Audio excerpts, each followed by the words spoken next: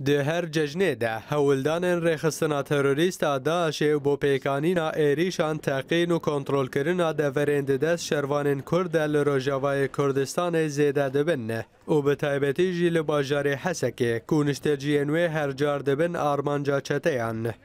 د ناورا یازده او دوازده وی هیوی ده لباجار شداده یه بسر باشور گندوار حسکه و لانی ان با شور باجیر پوجونند جوارد ناورا شروانین یکینه ام پاراسنا گلی پگه اوری خسناده اش درودان د دما کوچتاینده اش حول ددان حجمر کخالو چبرین پگه کنترول بکنه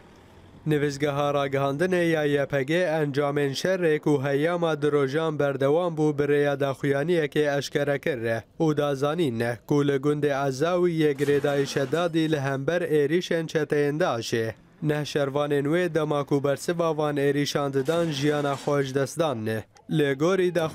یپگی افشار تا ایوارا بوری بر بو. او پشت ایریشان اری شان شروان نوې لنوچه امباشور شدا د کمپانی کله لشکري بر فره بوتک برنادا شله دست د سپیکرن او د هیاما چلو هشت مجمیرین بوریده گندین کفکیش و زیناتیم به سرشداده و به تمامی جدا اشی هاتم پاکش کرنه هر روزا انجام پفچونان دا سی و هشت جده این دا اشی کشتنه سی